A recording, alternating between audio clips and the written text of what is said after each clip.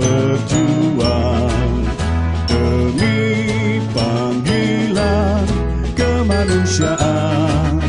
Gerak terpadu pemerintahnya masyarakat dan dunia usaha.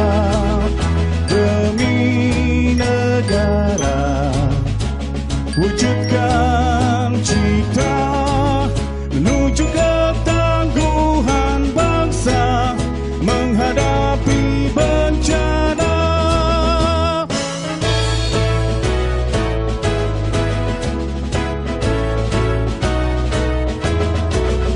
semangat berjuang demi panggilan kemanusiaan